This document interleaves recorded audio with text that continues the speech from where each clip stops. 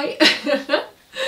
this video is about this bodysuit because I made this bodysuit and I'm going to show you how I made it.